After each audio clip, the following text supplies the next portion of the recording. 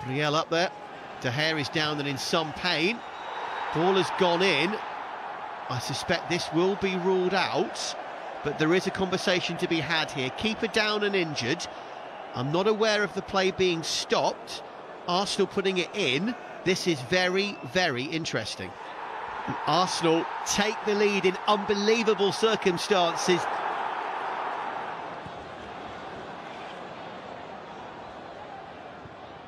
Could be an issue here, though. Here's Fred. And finally, United get it right. Fred's done really well to pull it back. So a very cool finish from Fernandes.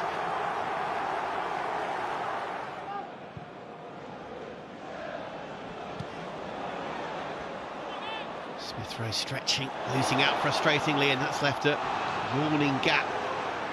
Here's Rashford looking for Ronaldo, and that was all too, too easy. Picks out Cristiano Ronaldo, and he's not going to miss from 10 yards out.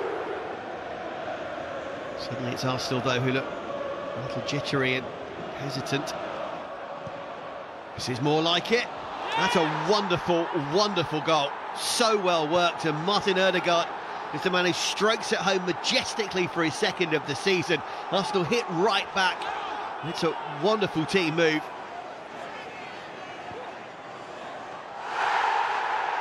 No penalty. Is the decision of the referee who had a good view. More than happy to wave it away.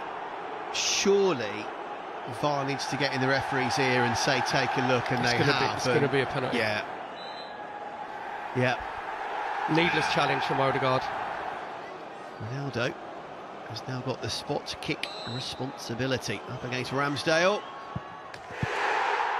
Clever penalty. Committed Ramsdale early.